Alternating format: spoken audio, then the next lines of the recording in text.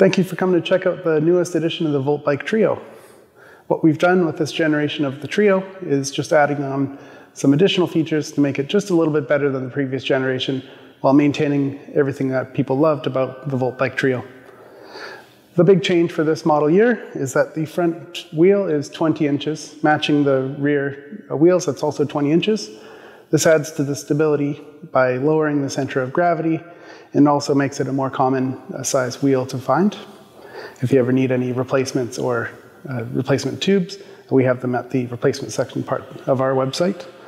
Also with this generation of the bike, we have a 17.5 amp hour battery replacing the 16 amp hour of the previous generation, giving you about 10% more range on your Trio.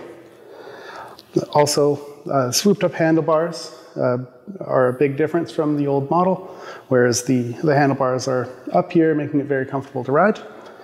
And on the handlebars is the new 860C color screen. Uh, the screen is thinner and brighter than the previous generation of screens, and it also features automatic headlights. So if you're riding in the dark, uh, rest assured that the lights and the tail light will come on automatically.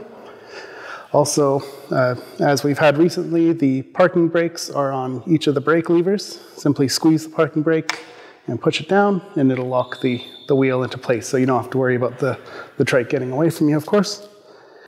Coming around to the back of the Trio, we could see some of the major improvements we've made for this generation.